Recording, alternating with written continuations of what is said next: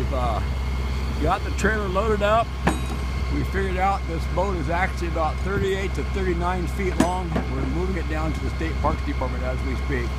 We got loaded up and uh, it took us two hours to get it off the beach, up the beach boat last night.